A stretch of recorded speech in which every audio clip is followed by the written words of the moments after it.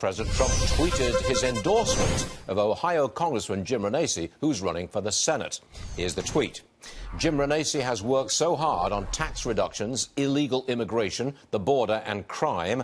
I need Jim very badly to help our agenda and to keep making America great again. He will be a fantastic senator for the great state of Ohio and has my full endorsement. Congressman Renacci joins us now. Is that what you wanted? Did you want a full scale presidential endorsement? Well, Stuart, good morning. And I'm a big supporter of the president. I want to see his agenda move forward, so I'm happy to help him when it comes to the Senate. It's one of the reasons I jumped into this Senate race. We've got to move the agenda forward. Too much stalls in the Senate because of partisanship and not getting things done.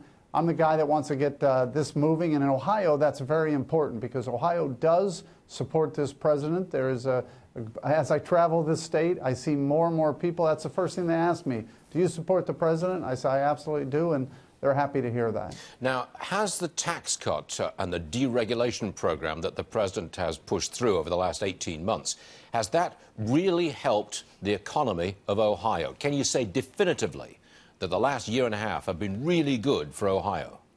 Well, I believe it is, and as I travel the state, I'm hearing people thanking me. I'm seeing businesses across the state that are giving out bonuses. I was talking to a business yesterday that's going to expand now and do some things they couldn't have done without this tax money. So, yes, absolutely, in Ohio, it's moving forward, especially small business. And I think that's the key. Small business is the driver of the economy, and I'm seeing that as I travel Ohio. Therefore, I have to ask you about uh, Senator Marco Rubio. Look at what he said about the tax law. For the benefit of our viewers, I'm going to quote this again.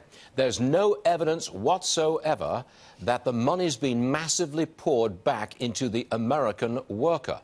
So that is a slam on the tax deal. What say you? Well, I disagree with Senator Rubio. Again, I, as I travel Ohio, I'm seeing it. I'm seeing people saying we're going to expand. I'm seeing people getting more in their paycheck.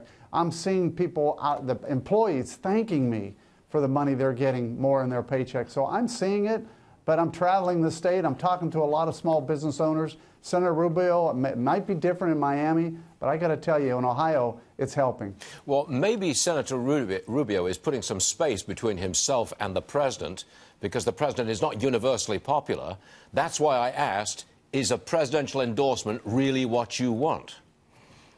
Well, again, as I told you, in Ohio, the president has a, a, strong base of support. I think there's an outside poll that came out, has him at 54 or 55 percent in the state of Ohio. So people here like what he's doing. They like that he's pushing the economy, moving things. It's about the jobs and the economy. They're seeing it. They're happy.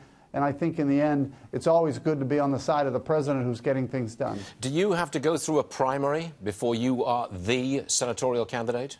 For the Republicans? There is a prime. There is a primary, Stuart, in six days. It's. Uh, I'll be glad when it's over as well. There are a number of people running. By the way, everybody in the primary.